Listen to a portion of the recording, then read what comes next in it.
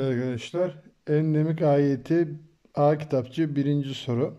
Şekildeki M kütleli cisme F kuvveti uygulanıyor. A, AF grafiği şekildeki gibi oluyor. Demir bloğu daha kolay hareket ettirebilmek için zemin yağlanıyormuş. Buna göre AF grafiği aşağıdakilerden hangisi gibi olabilir? Yağlandığı zaman cis, e, e, zemin arkadaşlar sürtünme katsayısı ne yapar? Azalır. Şurası bizim sürtünme kuvvetini verir. F sürtünmeyi verir.